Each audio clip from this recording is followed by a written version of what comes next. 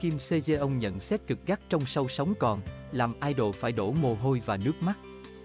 Khi tham gia chương trình Universe Ticket với vai trò giám khảo, Kim Sejeong đã bày tỏ sự thất vọng sau khi chứng kiến những hậu bối thiếu kỹ năng hát lẫn nhảy trong sâu.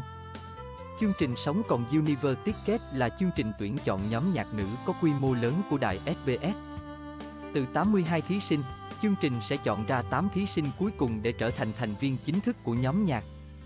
Ban đầu, Universe Ticket gây chú ý bởi có dàn giám khảo và mentor nổi tiếng, cũng như có hai thí sinh quen mặt xuất thân từ nhóm nhạc thần tượng là Ân Chê, Ye, còn gọi là Cung Cha Won và Ye Ji Eun, Buser. Trong tập đầu tiên của chương trình, Cung Cha Won và Ye Ji Eun đã có màn biểu diễn thể hiện kỹ năng cá nhân. Vì đều xuất thân từ nhóm nhạc nữ, có nhiều năm hoạt động, không chỉ ban giám khảo mà ngay cả các thí sinh khác cũng đều trông đợi rằng màn trình diễn của cả hai sẽ chất lượng hơn những thí sinh khác. Tuy nhiên, kết quả lại khiến mọi người thất vọng. Cả hai đều có chất giọng yếu, hát hụt hơi, vũ đạo cũng kém sắc bén.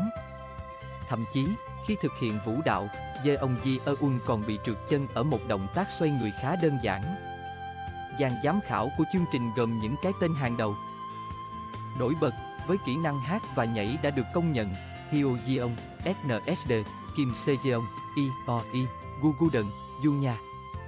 Trong lúc cả hai thí sinh biểu diễn, các giám khảo ban đầu bị bất ngờ, sau đó gương mặt dần trở nên vô cùng nghiêm túc. Trong số các giám khảo, Kim Sejeon đã đưa ra nhận xét thẳng thắn, thành thật mà nói, tôi nghĩ kỹ năng không quá quan trọng đối với một nhóm nhạc nữ. Tuy nhiên, kể cả khi bạn thiếu kỹ năng, bạn cũng phải đảm bảo là khán giả không nhận ra điều đó. Để che giấu thiếu sót, bạn phải đổ mồ hôi và cả nước mắt để tạo nên một sân khấu hoàn hảo. Hai bạn, một người là thành viên girl group, một người là idol, nhưng những danh xưng đó chẳng có ý nghĩa gì hết.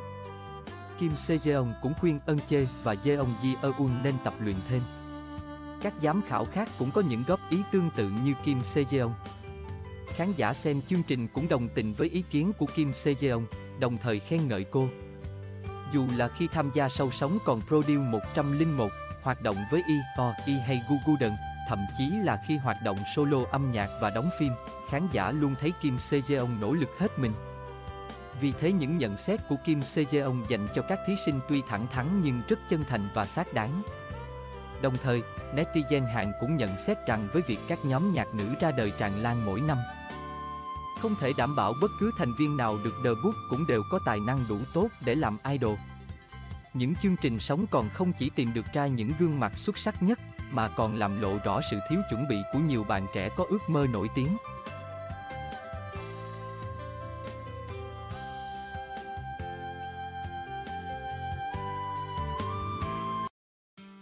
Cảm ơn các bạn đã theo dõi video. Hãy đăng ký bật chuông để lại bình luận bên dưới và hẹn gặp lại trong các video tiếp theo.